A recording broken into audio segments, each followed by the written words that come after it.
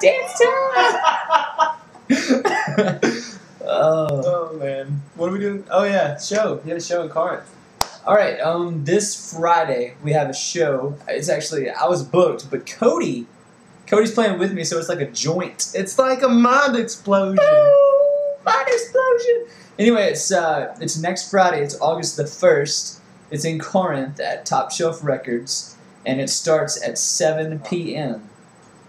This is Um, the top shelf. not the Top bottom. shelf, not the bottom, not the middle. Top. Seven Starts at seven. It's three dollars. It's me and Cody jointly. Um, Cory Taylor Cox, Jordan Prince, and there's somebody else. I cannot Some remember other his dude, we don't name. know who it is. Can't remember his name, but Sorry, other guy. it's going to be a great show. I apologize. Hey. And then that very next day, the very next Cody's day, going to tell you about this one. Saturday. Is that the, would that be the third? The second. The second. Yes, the second. In uh, Collierville, Tennessee, at a Square Bean Coffee Shop.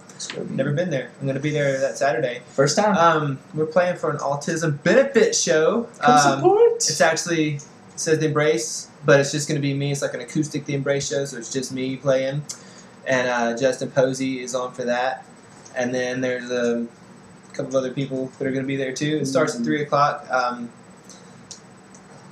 four dollars to get in, and one hundred percent of those proceeds go to benefit the uh, autism Autism. research. What a great thing. cause. I guess I should know exactly what that thing's called, but I don't. But it goes toward uh, toward that all the profits. And- don't get anything. and all the information that we are forgetting, you know, because we're so professional. It's on our site, so you know, It is. Just you can go So, check that out. tsembrace.com or Uh, you know, I'm I'm one of his top friends. yeah, you can just get it from there. So tsembrace.com, you can see the information for that. Click on his to find out what his shows are, what our shows are, and all that is wonderful. And um, I think that's all we have at this is. time. Um, is that it? that's it. All right, Chupacabra.